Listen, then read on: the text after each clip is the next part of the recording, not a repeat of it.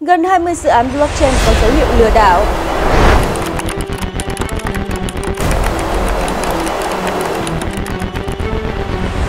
trăm dự án đến từ các lập trình viên Việt Nam.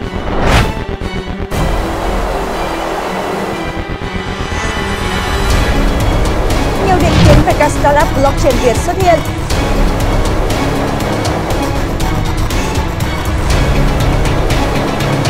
Nam có còn là miền đất hứa cho blockchain?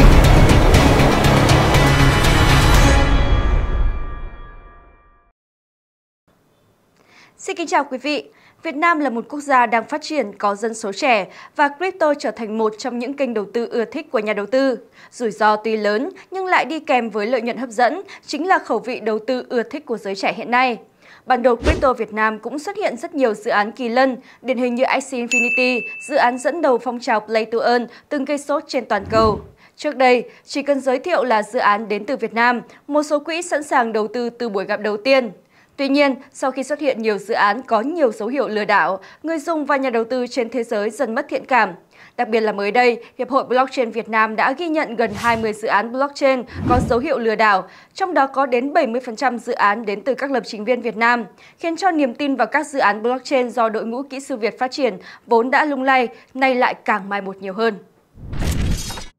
Cổng báo cáo dự án có dấu hiệu lừa đảo của Hiệp hội Blockchain Việt Nam là kênh tiếp nhận thông tin về các dự án blockchain trong nước và quốc tế thuộc đề án thử nghiệm giám sát tài sản số trên không gian mạng blockchain nhằm thúc đẩy tính minh bạch, công khai của các dự án, góp phần phòng chống tội phạm công nghệ cao liên quan đến hoạt động blockchain. Sau 2 tháng kể từ lúc triển khai, cổng báo cáo dự án có dấu hiệu lừa đảo của Hiệp hội Blockchain Việt Nam VBA đã tiếp nhận nhiều ý kiến đóng góp từ phía cộng đồng, trong đó có gần 20 dự án được cộng đồng cảnh báo có dấu hiệu lừa đảo. Trên thực tế, những vụ lừa đảo liên quan đến tiền mã hóa tài sản số là một trong những trở ngại khiến việc tạo môi trường ứng dụng blockchain công khai, minh bạch ở Việt Nam còn nhiều khó khăn. Mặc dù chưa có thống kê cụ thể, thị trường tiền mã hóa trong năm 2021 và 2022 đã ghi nhận nhiều dự án blockchain do người Việt đứng sau có dấu hiệu lừa đảo, gây thiệt hại đáng kể cho các nhà đầu tư trong nước và ngoài nước. Đáng nói là bản thân nhiều dự án blockchain Việt được đầu tư nghiêm túc cũng bị ảnh hưởng không nhỏ về mặt dư luận bởi các dự án trên, dẫn tới nhiều định kiến không đáng có về các startup blockchain từ Việt Nam. À, ngay sau khi nghe xong thông tin này, hẳn là quý vị đang cảm thấy rất là hoang mang về các dự án blockchain có nguồn gốc từ lập trình viên Việt Nam. Tuy nhiên, trên thực tế thì tình trạng lừa đảo trong lĩnh vực blockchain không chỉ có ở Việt Nam mà xuất hiện trên toàn thế giới. Do đặc trưng của lĩnh vực blockchain là phi tập trung, tất cả cá nhân hay tổ chức đều có thể tham gia, trong đó sẽ có cả người tốt lẫn kẻ xấu. Các dự án blockchain bị gắn mác lừa đảo thường diễn ra ở các nước có thu nhập thấp, nhắm vào nhóm người dùng mới hoặc ít kinh nghiệm trong ngành. Hàng triệu dự án, đồng coin và token ra đời đều hứa hẹn mình sẽ là Bitcoin và Ethereum tiếp theo và không dễ để người mua phân biệt được những dự án nào chỉ là trò lừa đảo. Theo thống kê mới của công ty theo dõi và phân tích blockchain Chainalysis, trong hàng triệu tài sản số được tung ra trong năm 2022, chỉ có gần 10.000 trở nên có giá trị dù ít hay nhiều. Và trong 10.000 đó lại có đến 1 phần 4 là chiêu trò thổi giá xả hàng hay pamendam của những kẻ lừa đảo chuyên nghiệp khiến người mua trắng tay chỉ trong một tuần sau khi phát hành. Trong một vụ thổi giá xả hàng, kẻ lừa đảo đẩy giá của một tài sản mà họ nắm giữ lên cao bằng cách quảng cáo rầm rộ hoặc giả vờ thu mua, sau đó bán toàn bộ mà không báo trước, thu về lợi nhuận lớn, trong khi khiến các nhà đầu tư khác trắng tay vì giá tài sản về không. Gây sốc hơn nữa là có những kẻ liên tục tạo token mới để trục lợi. Theo dõi dòng lợi nhuận của các đợt thổi giá và bán tháo, các nhà phân tích tại Chainalysis tìm đến ví tiền mã hóa của hàng trăm kẻ lừa đảo hàng loạt. 445 cá nhân hoặc tổ chức đã thực hiện nhiều hơn một vụ thổi giá. Trong số đó, 23 nhóm đã thực hiện hơn 10 vụ. Thậm chí một kẻ lừa đảo đã thực hiện chót lọt ít nhất 264 vụ. Những dự án chất lượng kém, bị thổi phồng là yếu tố không thể tránh khỏi của một thị trường đang phát triển nhanh như blockchain. Điều đáng buồn là vấn nạn này vẫn chưa có cách giải quyết triệt để khi hầu hết hacker, kẻ lừa đảo đều ẩn danh sau mỗi dự án.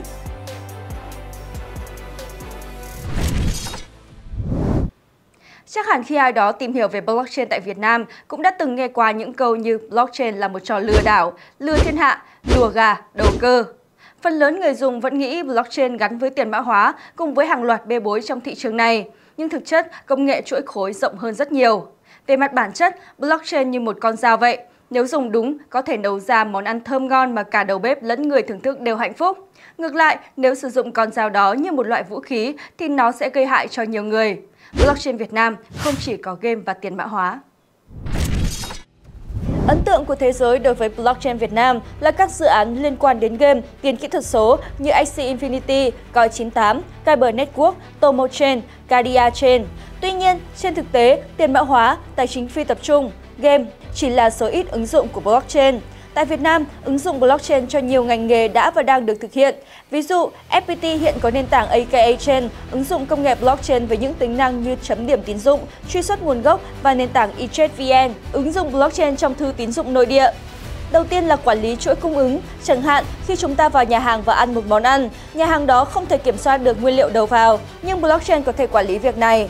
Thứ hai là lĩnh vực bảo hiểm và y tế. Việc ứng dụng blockchain sẽ giúp giải quyết những khúc mắc như cho phép các hệ thống thông tin y tế làm việc cùng nhau để cung cấp dịch vụ chăm sóc sức khỏe hiệu quả cho các cá nhân và cộng đồng. Thứ ba là chương trình đầu tư bất động sản. Tại Việt Nam, một số công ty đã chia các tài sản thành token và mọi người dù ít tiền cũng có thể tham gia đầu tư vào bất động sản. Thứ tư là định danh điện tử. Blockchain là nền tảng tốt nhất cho việc định danh điện tử. Tuy chưa có hành lang pháp lý, chính phủ Việt Nam đã bắt đầu hỗ trợ và tạo cơ hội phát triển cho công nghệ blockchain khi có động thái nghiên cứu, ứng dụng công nghệ blockchain vào giáo dục, kinh tế và bắt đầu nghiên cứu luật cho crypto.